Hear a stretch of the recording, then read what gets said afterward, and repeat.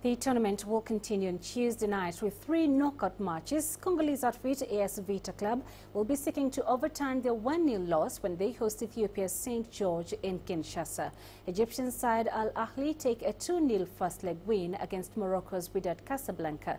And Sudanese club Al Merrikh will be at home against Mozambican side Ferroviario Beira.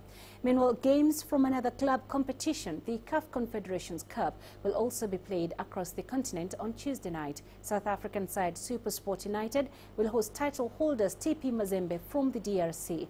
The South Africans came from behind to hold Mazembe 2-all in Lubumbashi in the first leg tie and will be looking to take advantage of the home crowd in their quest to knock out the champions.